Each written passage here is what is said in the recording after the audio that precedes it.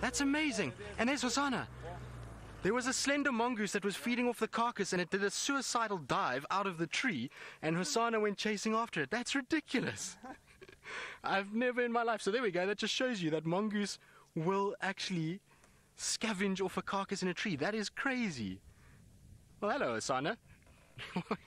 that was absolute madness. The slender mongoose was so scared of us that it literally jumped from where that carcass is now out the tree and down and ran across this sort of gap that you see here. And Hosanna came bounding off after it when he saw it falling out of the tree. That's ridiculous. And look at that full belly. Have you been eating nicely, my boy? He's looking so good. Big and healthy and full bellied and a little uncomfortable, I would say, with all that food. So there we go. Two spotted cats and a spotted hyena as well, and a slender mongoose. It's proving to be quite the predator filled afternoon already. That's just crazy. That is honestly the first time I have ever seen a mongoose in a tree and then fall out of the tree trying to get away from us. That's absolutely insane. How did that mongoose get up there? That's madness.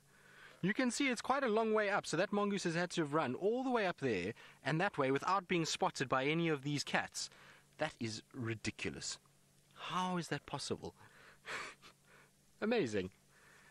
See something new all the time. It just goes to show that we, as much as we see a lot and we spend a lot of time out here, around any corner at any time can be something that you just completely have never seen before.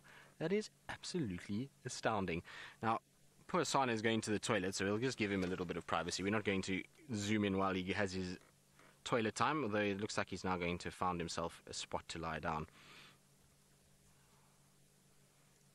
Don't smell your own dung. There we go. Are you going to come lie by us? No, he's going to sit now and he's going to watch his carcass very carefully. So he's going to make sure no other slender mongoose goes up there. He's also watching a few birds. Oh, look, there's the other carcass. You see it, Seb? Both carcasses are here. So, sorry, my hand got in the way there, but there's the other carcass high up in the tree. So, Thandi and Hosanna have got their carcasses in both in the same tree. Now, that's one for the books. So, there's the Steenbok up at the top that Thandi killed this morning. Because I asked Tax and he said they actually saw it happening this morning on drive. So that's the Steenbok. You can see it's not eaten at all. It's completely whole. And then the impala, the young impala, is the one that the slender mongoose was busy feeding off, which is that carcass a little bit further down. Seb. There we go. That one.